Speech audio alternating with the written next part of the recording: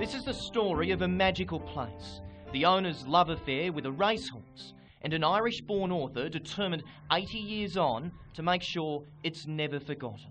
Rodney Dangar treated this horse like a son. He'd lost an infant son um, in the late 20s, and I always felt maybe that Peter Pan was a bit of a substitute for that.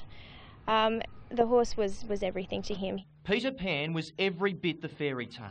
The year was 1932, the midst of the Great Depression, and Australia had lost a legend, Lap.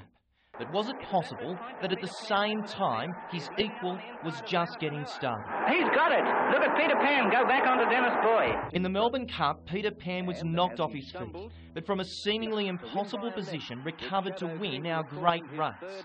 The victory epitomised a turbulent time, giving hope after it all seemed lost.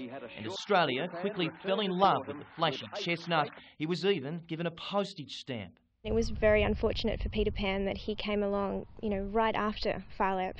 And if he'd come along maybe a decade later, probably would have all of those accolades and he'd be remembered and he would be, you know, statues of him everywhere. Retired with 26 wins, including two Melbourne Cups, Peter Pan returned to where he was born. His Whittingham stable still there, but he wouldn't grow old with it. He snapped a foreleg.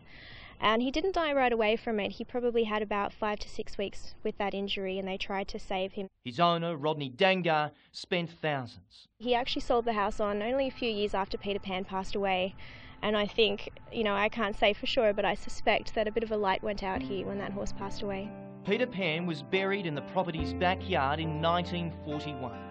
And now those closest to him are supporting calls for a town statue to make sure his legend lives on. We're having a, a breakfast on Tuesday morning for the Melbourne Cup here uh, just because of Peter Pan and uh, hopefully it'll be something that might get a little bit larger in in future years. So just to uh, bring Peter Pan to light and yeah, help the industry a little bit. So. Mm.